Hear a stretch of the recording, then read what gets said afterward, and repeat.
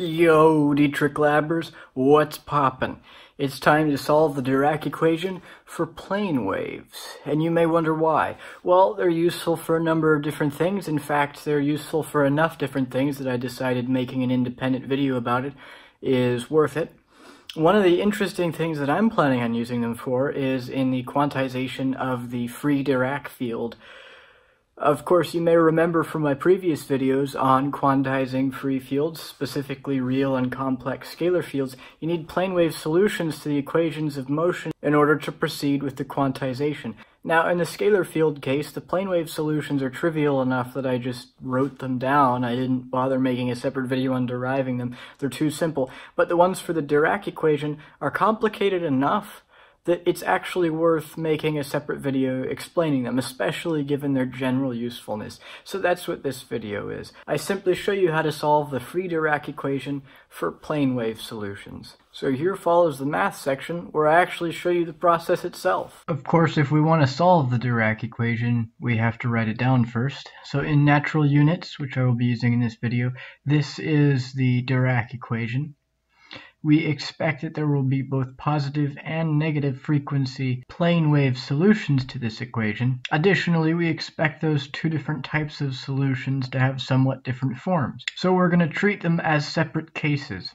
Of course, also, because these are plane waves, we expect them to have a phase factor like this multiplying them, where the momentum 4 vector in this problem involves a time component that's related to the mass of the field and the spatial components of the momentum vector via the standard relativistic energy momentum mass relation. But because the psi field is a column vector and the operator applied to it is a matrix, we expect that there's going to be some probably momentum dependent factor in front here that will give it that column vector character and allow it to solve, in a sense, the matrix part of the equation and as a result we will take these two as our positive and negative frequency ansatzes respectively. Plugging these in gives us this equation for this u of p vector and this equation for this v of p vector. So then the goal is to solve these equations, which are no longer differential equations for these u of p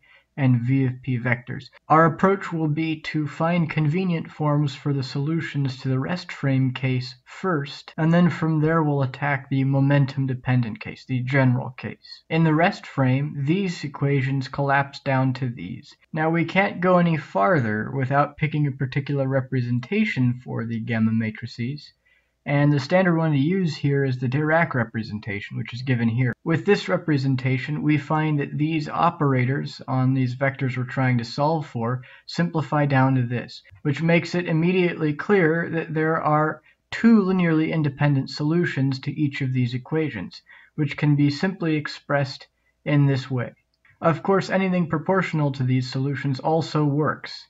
The particular ones shown here were selected because they are the simplest. A Latin index will be used to denote which of the two solutions it is, where r and s can take on the values of 1 or 2 depending on which ones we're using. Now one can use the Lorentz invariance of these two products, implied by the Lorentz invariance of this quantity, to arrive at normalization conditions satisfied by the particular momentum generalizations of the above rest frame solutions, simply by computing them for the rest frame case. Basically, the rest frame case is true generally because of Lorentz invariance. Specifically, we find by trivially inserting these values into these relations that this is true, and because of the Lorentz invariance of these quantities, it's true for arbitrary momentum if we are using the momentum dependent generalization of specifically this selection of solutions here, which we made again not because they're the only ones, but just because they're the most simple. So then we want momentum dependent solutions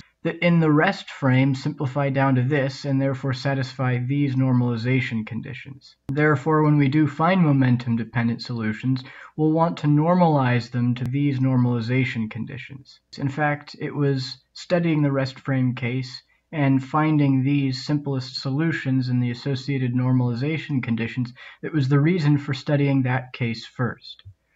Also, we find these two relations, but they're less important for this particular problem. But I still stated them because they complete the set. Now let's find some arbitrary momentum solutions. And then once we find the arbitrary momentum solutions, we can normalize them to match these conditions and to, in the rest frame case, simplify down to these. One can easily find arbitrary momentum-dependent solutions if we recognize this identity here and this identity here.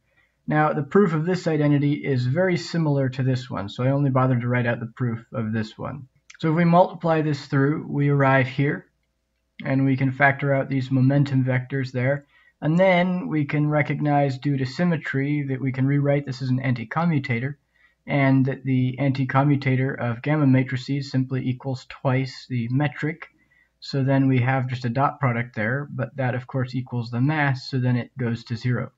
And the other one works essentially identically. So with these identities in mind, we realize that we can write solutions to the equations we were trying to solve up here that are momentum dependent simply by multiplying these rest frame spinors by these two factors we find that if we plug these into the equations we're trying to solve, we just arrive at these rest frame spinors multiplied by factors like these. This provides us with two linearly independent solutions for arbitrary momentum to the respective positive and negative frequency equations. They, however, do not reduce exactly to the simple rest frame solutions given above, and they do not satisfy the associated normalization conditions. As I said, we were going to find the arbitrary momentum solution and then normalize them to match the normalization conditions in the rest frame case that we studied previously and specifically selected because it was the simplest and most elegant. Applying the standard normalization gives these results. This is the standard normalization that yields agreeance with the rest frame case that we selected previously.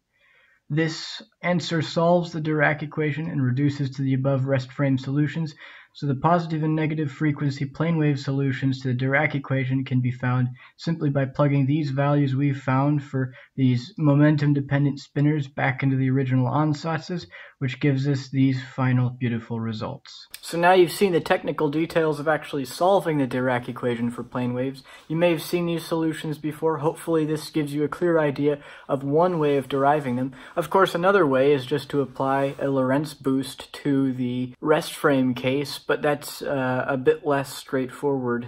This was a very easy way to do it, and it works just as well, so I figure I ought to show you that one. Personally, I think non-trivial exact solutions of any type to a famous partial differential equation, especially one of great physical significance, is really satisfying and pretty. So I really enjoyed doing the math in this video. I hope you enjoyed watching.